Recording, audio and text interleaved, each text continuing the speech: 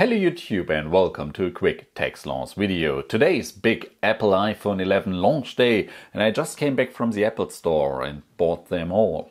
We got the normal iPhone 11, we got the iPhone 11 Pro and we got the iPhone 11 Pro Max. And I'm really eager to test them out, uh, to unbox them and start playing around with them.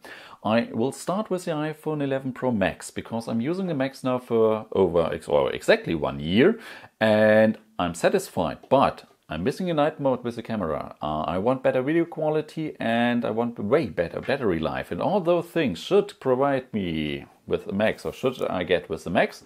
So we start with the Max and because I'm using it, let's get rid of the foil. Um, because I also use my iPhones to, to take videos for YouTube and other things, I got the medium version here. 64 gigabytes is sufficient for most of you people, I think, especially if you're using the cloud to store, uh, store your data and videos and files. But if you record a lot of videos, I definitely recommend the 256 gigabyte version. Um, iPhone logo and the iPhone letters are in dark green, a mouse green on the back side, or on the front side, we see the back side of the device with its three cameras, normal camera, wide angle camera and the two times optical zoom camera. Um, let's open up the box, or the box will open itself. Uh, we take the iPhone. Ooh, everything is falling out already. So there we go. And this is a, like what's, what's it called? Night green, midnight green. Nice color. We got this matte finish on the back side. You still see the fancy shiny Apple logo, which if you can feel. Um, but it's definitely not as slippery anymore as the, the XS uh, versions. These three cameras standing a little bit out on the back side. We got, let's do a quick tour around the device. We got an off button on the right side, which I can easily reach. On top, we get the antenna stripes. On the left side, we see our mute switch, our two volume buttons. And down here we see microphone, lightning and speaker. And on the right side, we also still got the, mm, uh, the nano SIM card tray. Single SIM, if you want dual SIM, buy a Chinese version or use the nano SIM, the physical nano SIM card and the eSIM. Yes, eSIM is uh, still, well, still built in. Um, so nice. On the paper sheets, it's 226 gram, so a little bit heavier, but with way bigger batteries than, than the XS.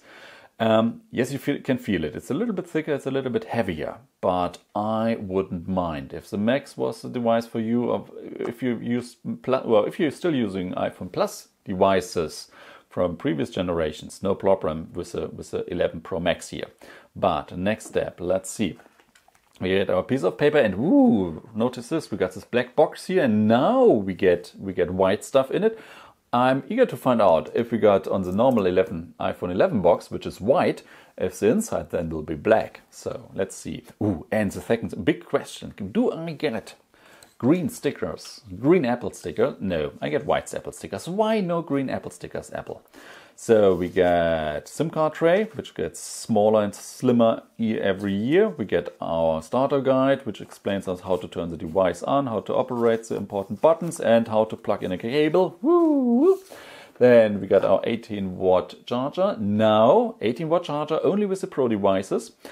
Uh, USB Type C, so for charging, no problems here. And we still got headphones, wired ones with Lightning, but no Lightning to headphone jack adapter anymore in the box. You have to buy them for, I guess, 10 euros if you still want to use 3.5 millimeter headphone jack uh, headphones with your iPhone. Uh, and we get a white uh, Lightning to USB Type C cable because USB Type C with a charger. So nice, nice, nice. This is everything that's in the box. And I have to say, first impression now. Mm, don't be afraid of the weight. I'm really looking forward for uh, for the battery life, and of course the camera quality. Cameras are standing out a little bit, and if you put them play uh, plan uh, on, on the tablet on the on the, on the surface uh, on a desk or anything, and you type, no problems. And you swipe, they won't move. But of course, if you are typing on the opposite side of the camera where the lenses are not of course it will wobble a little bit, but don't think about it.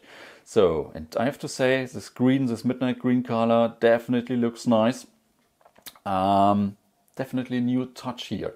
And if you got a black pen, I would definitely recommend drawing a smiley face beneath the camera, but we will do this later. But this is it for now. Thank you guys for watching and I'm really eager to play around with the iPhone 11 Pro Max and maybe Apple, shorter names.